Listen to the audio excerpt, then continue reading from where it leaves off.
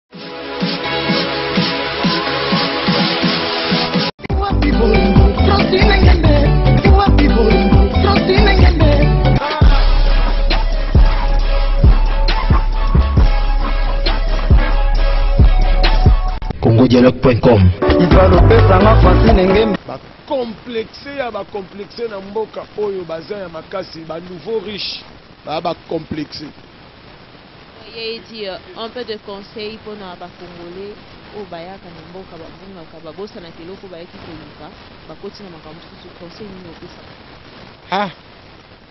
congolais azalaka na 200 000 cop congolais ayeba nyonso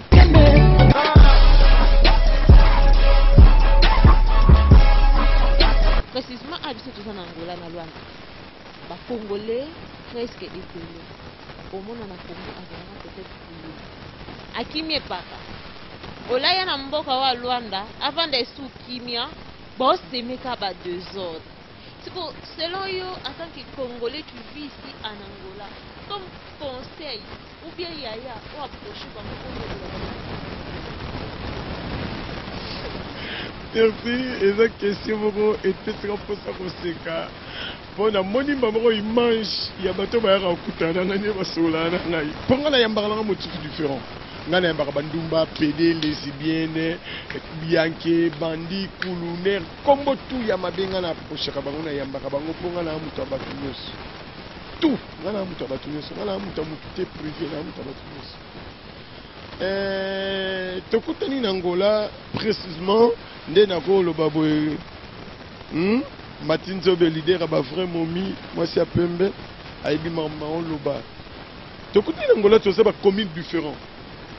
il y a des communes différents éducation différent eza na bato misusu depo abotama aza na éducation moko médiocre et puis tokutana na baalphabet nde tosanganaka na mboka oyo toza na baalphabet ere na oloba alphabet moto ayebi otanga te ayebi okoma te aza alphabete tokutana na bango yango confusion ekota na mboka omoni bato bazalaka kuluna bazalaka babandi bazalaka banani banani nusekelaka ndenge tolobaka awa ah, na ndenge ya mboka baya na bango tokutaka basemaka toujours desordre eza foti na bango te education de base na kati yango na mokuse so nakei napesa analyse tokosisa emission te eza education de base base na bango ezalaka mabe yango ndenge batikana na base na bango wana eza lokola makila ekangama bango na nzoto ekoki kotika bango te bakoki kosala perfusion makila me okozalaka toujours na makila no moko ya nzoto ata babakiseli yo ya moto mosusu ekoti batraite yango batie yo oza no ya yo moko ya nzoto totikala bongo tokochange te eza base soki base no ezalaka mabe eza te ndeko nanga cameraman avandi awa eh, tala kaka 1 mètre soki 1 mètre 74 déjà ndenge aza wana jamais soki azaka na éducation ya mabe akozala na biso boye te akozala na façon na ye ere aza na éducation malamu aza na biso azoporte biso un plus lisusu na kati ya eloko tozosala po baza na éducation mabe yango omonaka bamemango partout bakobanda ozala eza base kotakolela Ata nga nazwa education ya bien te education yango nde ebeba kotanga eza nango problème te kotanga no yebi kokoma na kotanga na kotanga mais education ezalaka mpe très important so okomi na place ya boyi fo yeba to papa o mama o yaya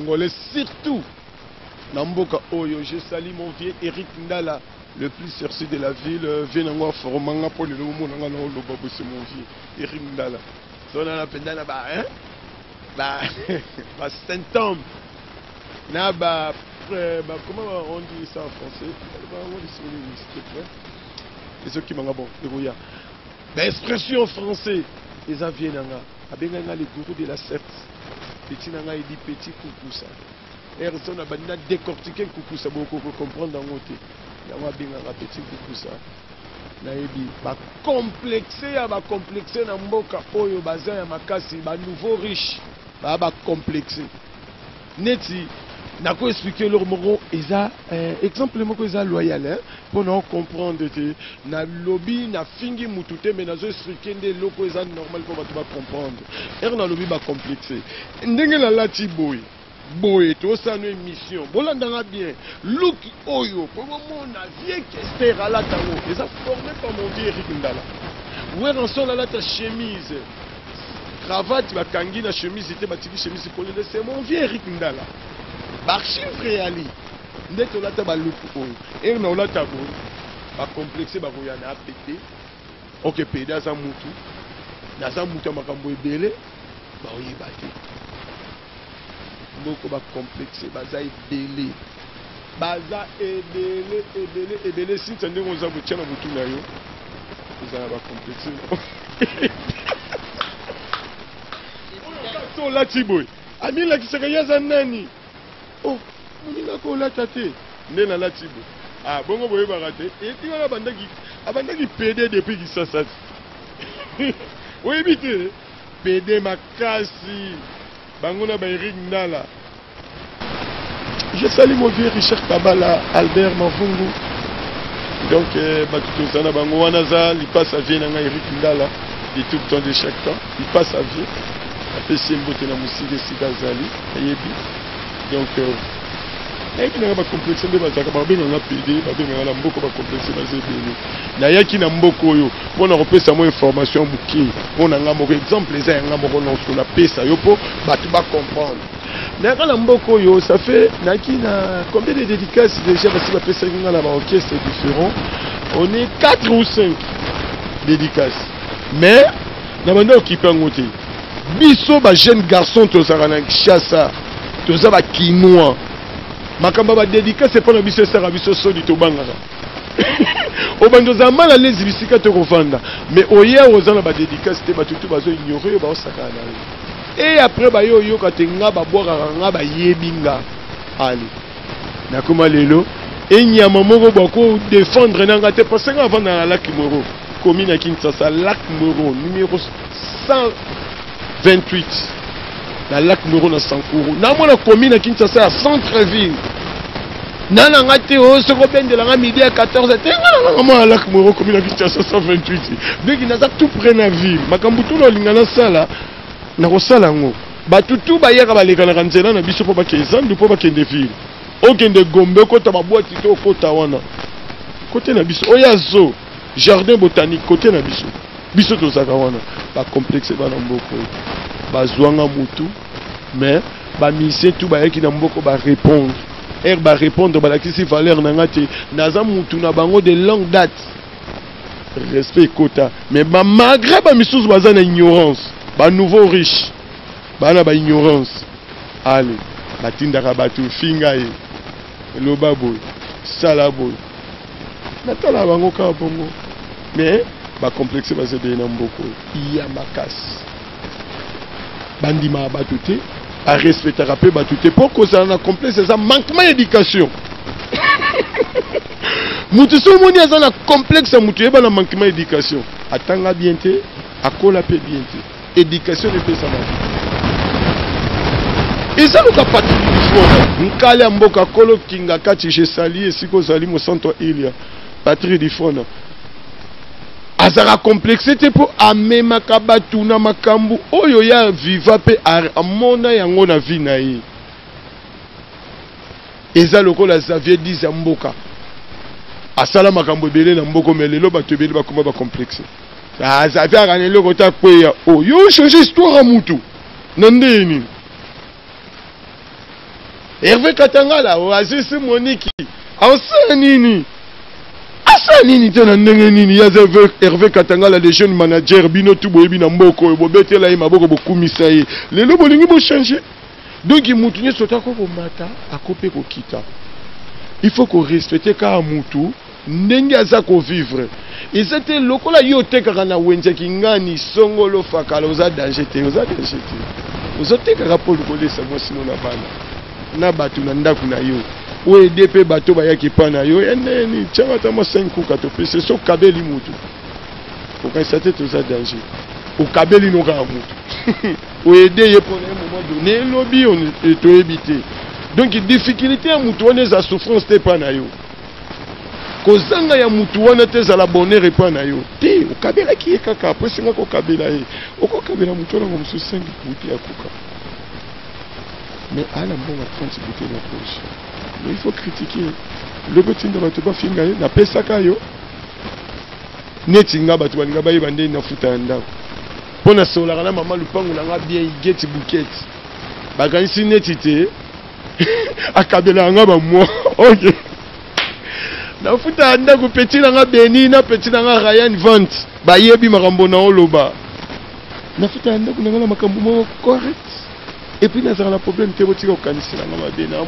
na spirituel edi bolondo falanga analyse ndenge ekoleka makasi ekoswa bino mais bino moko mpenza nde eh, bolingaka bongo te ekita bino bo ekita eh, bino boyeba nga mpenza naza na ngai ebi so oza complexe sa complexe na bana no na bafamille na yo tika kosa complexe na vie na ngai na vie ya bato ngai nayebi bango kokritikaka nga te kolobaka mabe mpo na nga te mpo nga bayeba nga e nga baoyeba nga bino bayebi bino te naoforce te naoloba mambo ya solo e nga nayebani na bamisie tout ya mboka oyo na longoli kaka vie na nga kester emeneya totikala kokutana te modinu na evanda na kimia yango nalati lelo boye kibanzenza wana alati boye yama mpenza ekoti awa epuis to na kati ya makambo ya diama espe ntango 750 asombaka bagrande te aza grossiste ya kosomba bakilo epano te oh, enga bayebaka bino bayebaka bino Je suis Kabile, je te salue depuis Libanda Libanda Mandela Weston. Patrick Difwana balobi Kingakati ne tombera jamais. Donc euh, tokutanaka kuna na Kingakati ekosala vraiment bien. Maman José Bambongo, je te salue aussi. Clin d'œil. Euh, ya edi donc tosololaka lisolo lelo mpe tomoni mpe non ya edi oyo bato presque ba mission presque ebele nde ki mission nani na nani boye eka na kaka bisika ouais euh, soki nalobi te naye bana bamisi ebele bato bakanisaki na kosa tout d'abord par avant j'étais à kinsasa je travaille à grand hôtel je travaille avec eric ndala l'atmosphère nazalaki na kati ya atmosphère koma misa koyeba nga te so misa ayebi nga te donki miso naza motema mabe il faut yeba nga nayebi tous les ndako ya misie nyonso nakota na bandako na bango natikela bango bainvitation nayebi vie na nga jubin piana imekoni edi vie na nga ayebi nga vie na nga weranson ayebi nga naleka na ntina ndako na ye vie na nga kofi olomide ayebi nga na kombo nalekana na ndako na ye bontamba je sali euh, comment aussi mon, mon frère frère ekola jésus de niens ayebi nga je sali aussi laskoni mbuta héritier mubiala et puis euh, enoki frappelo est, est véritable retiradiens hein, et igenza aussi je te sali Papa ça, Fally Ipupa ayebi nga DiCaprio la merveille le king. Ayebi nga. Héritier Watanabe n'en parlons pas même. Il me connaît très bien. Ayebi te Eddie alingaka boye alingaka boye te. Ibrator ayebi nga. Euh, Fabrice ayebi nga. Maestro. Euh, LBG ayebi nga. Lobeso ayebi nga. Euh, Nicodème ayebi nga donc lui un peu un leader leader ba totanga ba leader oyo bayebi nga so nakei na ba detail eza mabe eh, oyo mosusu nani deplay kimpomba ayebi nga eh, eh, brigade ayebi nga bill clinton n'en parlons pas même ayebi nga tous les papa wemba akufa lelo ayebi nga edi vie madilo akufa ayebi nga je kutu jina wa jina ayebi nga bongo yo soki osenga maseki na okende wapi mpo naza kotravaille na place ya masanga so nayebani na bato wana te donk naza motema mabe vie na nga bozi ayebi nga alongwa depuis belgique arlette mbenzo mwana ya vie bozi atindela ngai bakado mpo na bana na noel c'était 2014 vie bozi moto aya kotikela ngai vie bozi osesaka nga baje na mboka oyo ozwa nga kamaradi na yo mpo otekaka na wenze otekaka kingani non nga na businessman nasalaka coopération internationale nga naza te o oh. so nafandi na ndako yokanisa te na na état de faiblesse non je fais coopération sur mon téléphone erne osa négociation na thierry congolo na euh, comment on dit hervé euh, hervé monza garçon de luxe jo modangu kikasi pei trésor lola 32 makola masiya biscotti mbala rumu matumona ere ngai naosa baconversation na bango na telefone yaya ifo osala boye osala boye mon frère bino bozalaki te trésor mbombo bazalaki te kenny west baza kite nga nafanda na ndako naosala makambo wana mare to développe naoke déjà déjà na ndenge ya tgv eh, tu m'as le beau ma belle zéro hein? le, le père de petit les beaux blandine bajiki motema ya cédric mawete donc euh, je le sali euh, yo esi toye sur leur site ekoti mouvement ya lisolo yango lelo euh, makambo bokutaki kose passe a précisément na angola na province na biso ya lukapa tomonaki ebele ya bakongole barekulaki bango ba diamatifere bato ebele ebele qu'est ce qui se passe là mpo ekomati na banivo wana baobengana bacongolais na province ya angola we babengani bacongolais na province ya angola te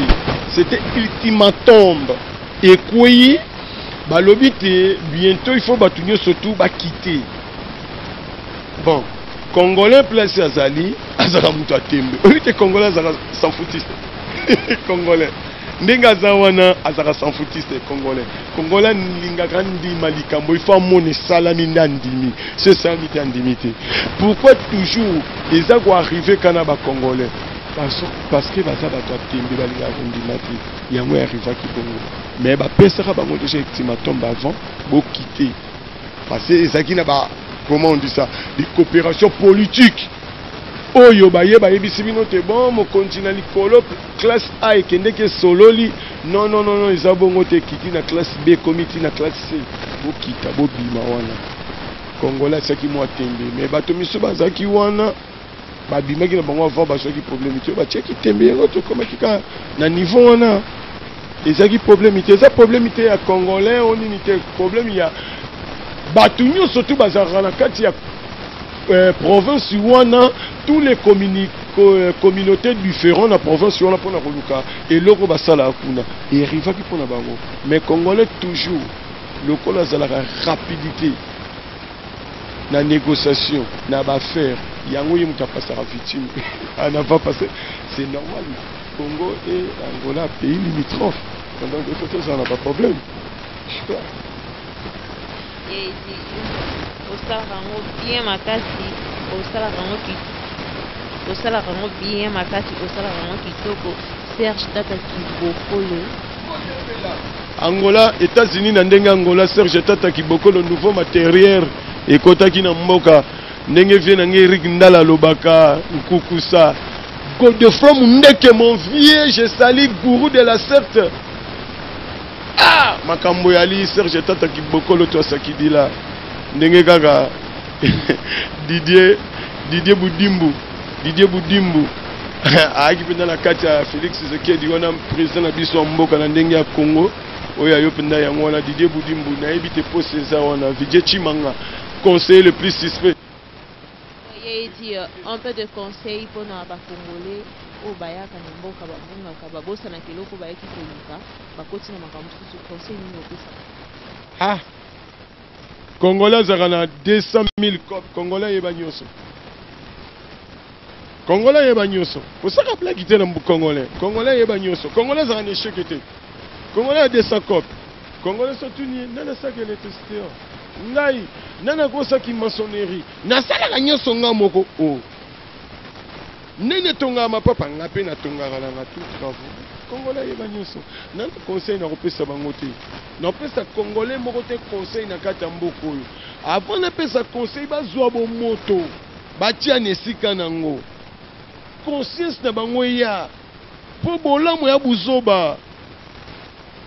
Gladys Tambembo y'a tata camarade y'a Julie Kitima makambu tout esilaka ba mbonge eyaka ekendaka mais boa ba camarade boyebi place bowuta bobanda nga mu nalobi n'a vie n'a bino spiritas mutu ako contredire nga aza te oyo nalobi etikala bongo sipa Horacio Neivandoch choisi matata en celeste congolais ayebaka makambu nioso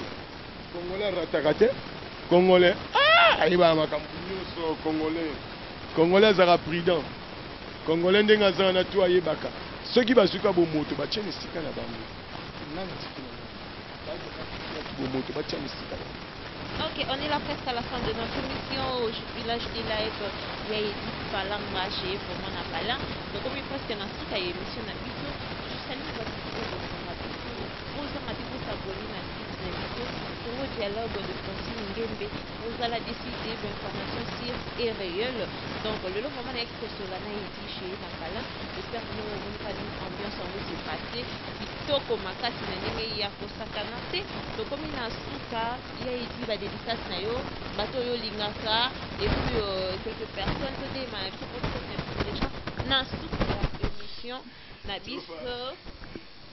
Ouais, je t'ai dit. Euh... Tala biloko mpo babiloko eza brutal oyo eza diama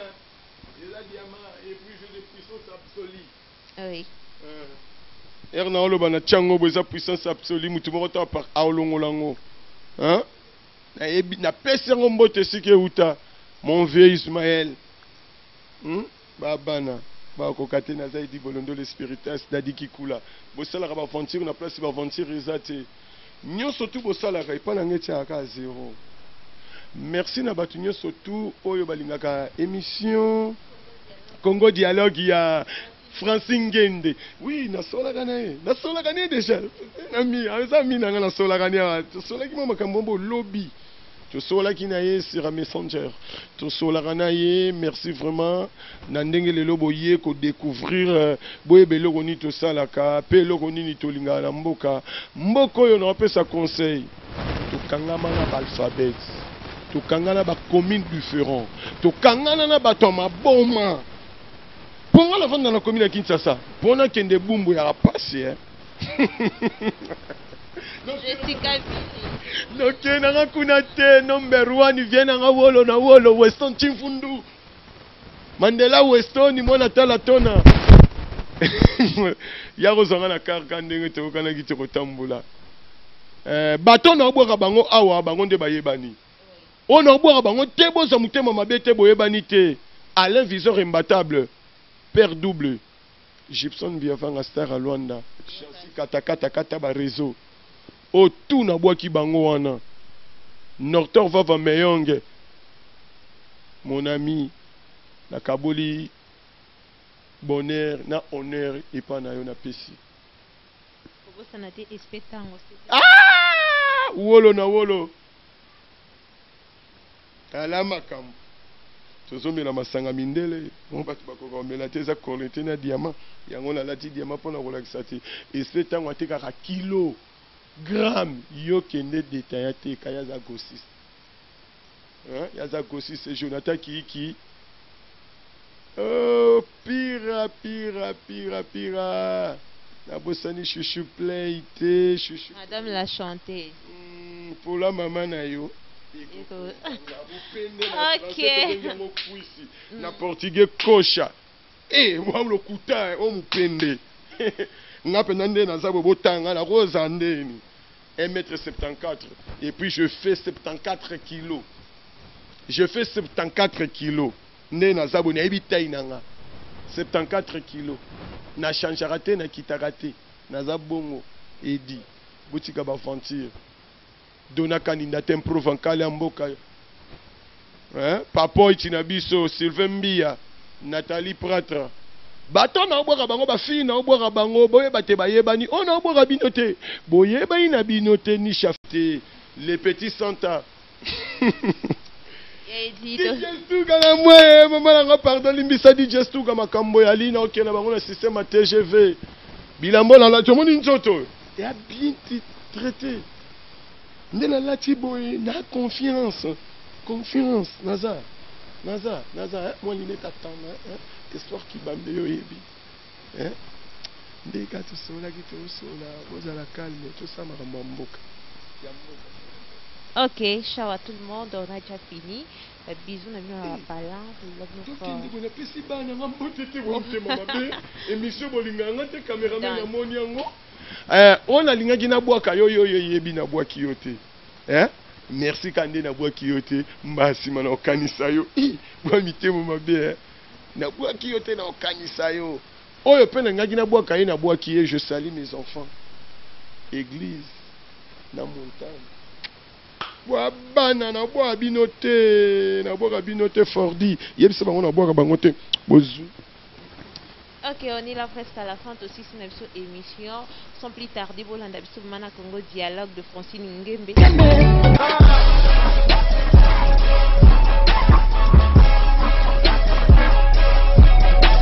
congodialogue.com